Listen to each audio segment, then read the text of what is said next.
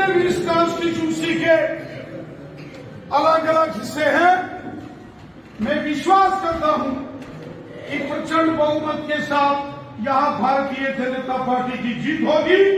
आपने हमेशा बीजेपी का झंडा बुलंद किया है और इस बार आप मोदी साहब आज हर व्यक्ति के दिल में बसते हैं और ये बीजेपी के कार्यकर्ताओं के लिए वर्कर्स के लिए खुशी की बात है कि हमारे पास दुनिया का सबसे लोकप्रिय और दुनिया का सबसे ताकतवर नेता किसी के पास है, वो भारतीय जनता पार्टी और इसलिए लोग नारा लगाते हैं।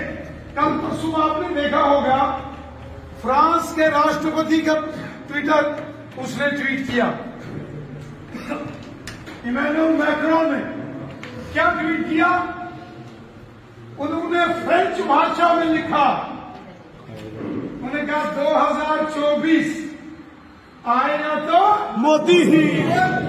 ये कौन बोल रहा है? ये फ्रांस का राष्ट्रपति बोल रहा है। ये 2024 में आएगा तो मोदी। सोचो दुनिया के अंदर लोग दुनिया इंतज़ार कर रही है। और दुनिया मान चुकी है कि मोदी साहब केवल भारत नहीं, दुनिया के लीडर हैं। और इसीलिए तो जब हम कहीं निकलते हैं तो क्या नारा लगता है? हर हर मोदी, हर हर मोदी।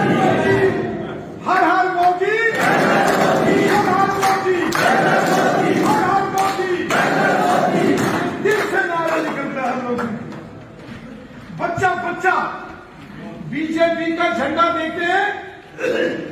हमारी गाड़ी जाती है, रोकते हैं, अंकल, झंडा दे दो। एक कांग्रेस का लीडर जा रहा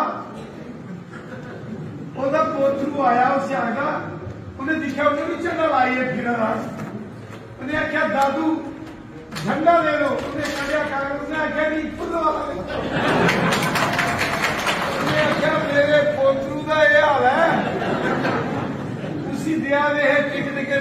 ਤੂੰ ਵੀ ਲੜ ਉਹਨੇ ਬੜੇ ਦਿਨ ਰੋਲਾ ਪਾਇਆ ਬਈ ਨਹੀਂ ਬਖਸ਼ੋ ਲਾ ਤੁਸੀਂ ਲਗਾ ਕਿ ਮੇਰਾ ਨੰਬਰ ਵੀ ਲਾਈ ਹੋਣਾ ਹਸਪਤਾਲ ਲੈ ਕੇ ਜਾ ਕੇ ਮੇਰੀ ਕਿਡਨੀ ਪੱਥਰ ਬਸੇ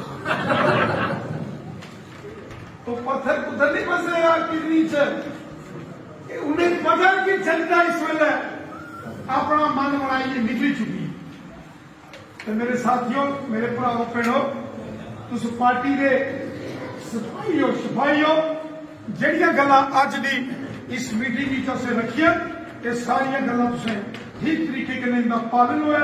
इतना निवेदन करते हुए मैं अपनी वाणी की विराम